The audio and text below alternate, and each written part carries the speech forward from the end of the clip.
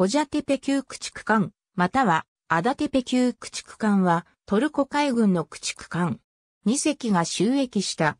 本級はトルコ海軍が自国の沿岸防備のために1929年度海軍計画においてイタリアのアンサルド社に発注、建造した駆逐艦である。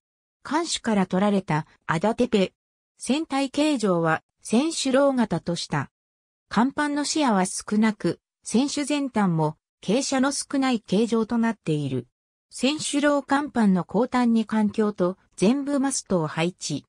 その後方の甲板下は3機の主艦を収めた艦室区画で1番煙突に主艦2機分、2番煙突に1機分の煙地が同設された。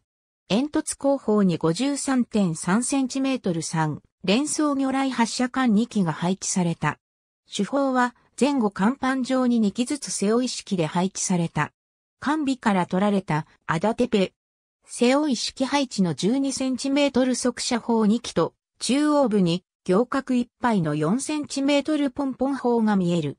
本級の主砲にはアンサルド製1926年型 12cm 速射砲を採用した。その性能は重量 23.15kg の砲弾を行角45度で2万2000メートルまで届かせることができた。方針の不行能力は行角45度、深角10度で、旋回角度は左右150度の旋回角度を持っていた。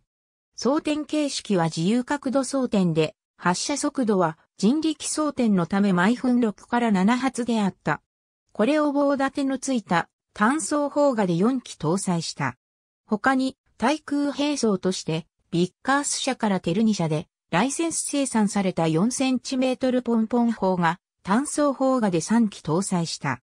水雷兵装として 53.3cm 3連装魚雷発射管2機を搭載した。ありがとうございます。